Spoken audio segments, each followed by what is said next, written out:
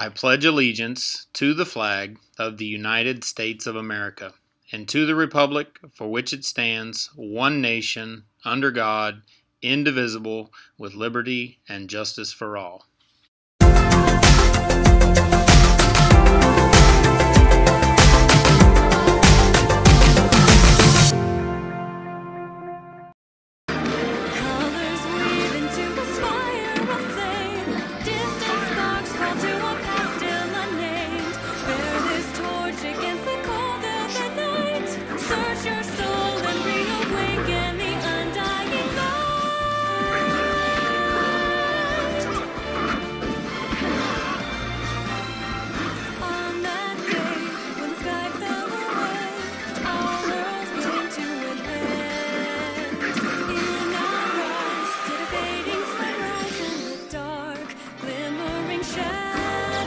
Good morning, class of 2021. It's time to apply for governing board. Um, if you're interested, you must have a 3.0, you must have less than 15 days absent, and you must have no discipline um, issues.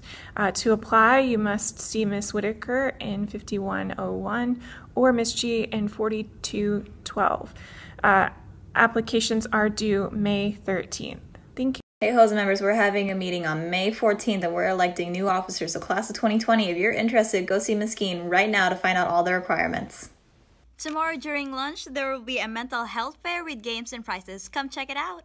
Our very own Alara Boswell is coming to our campus to promote the Air Force. Look for her during lunch this Thursday. Good. Uh, what's today? Thursday. Thursday morning, Okeechobee High School. These days are all running together. We got a week's worth of activities today. Um, I know we got some AP exams, we got some makeup exams. We have a youth mental health fair going on at lunches where there'll be tables set up where you guys can go around and get some information. 2.30 we have an athletic signing um, today there's like seven athletes that are committing to colleges or universities to continue their future athletically and academically and then we round it out with awards night at 6 o'clock tonight um, hopefully you checked your email by now you know whether you're coming to awards night or not um, did anything happen last night I'm trying to think. Last night was a blur. I do know something that happened last night. We had the Migrant Harvest of Hope. Um, there was a, like 56 students that got honored. Um, there was probably $12,000 worth of goodies that were passed out. Um, and then there were also 11 scholarships that were given out. So we thank the local community for supporting our migrant students. Um, How many something innings else? of softball? Well, here's what I know about softball. Yeah. Before I tell you that they won, I'll keep that a secret. But here's all what I know. We leave Buckner and Ream in charge, and we come out in the seventh inning and we're down one to nothing. So then Goggins, Myers, and myself come out to the field after the Harvest of Hope, and what do we do? We score a run. So Ream and Ream and Buckner, I don't know what you guys were doing for the first seven innings, but it took us to come out there before the softball team finally scored a run and made it one to one. And then four innings later, they decided to score another run and win their game two to one.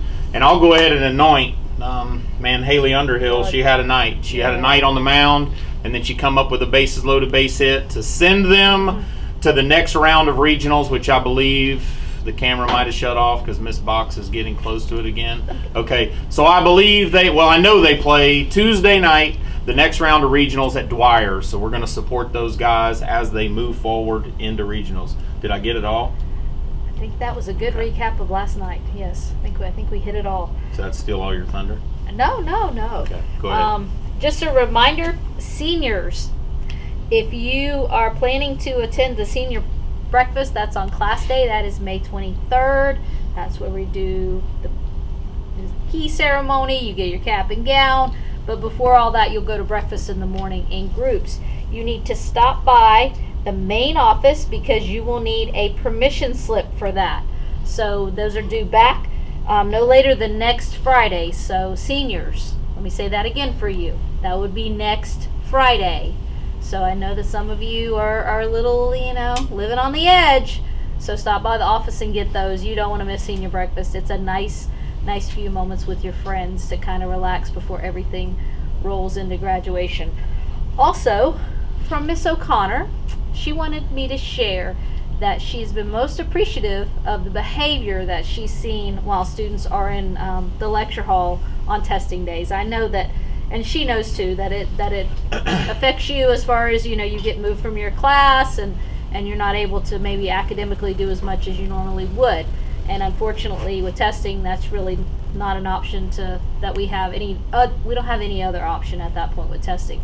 So she noticed that this past week on Tuesday, Wednesday, when we tested, that the behavior was very good. Uh, please remember if you are displaced from a class and you end up in the lecture hall for a period due to testing, that you are not allowed to have food or drink in the lecture hall. Um, that we use that for a lot of different things throughout the year, including drama productions and other exciting events. And so it is a it is sometimes difficult to keep that place as clean as we would like for it to be. So please help us out.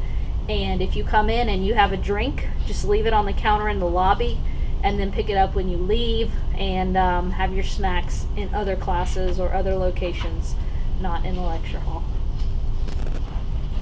It smells good in here.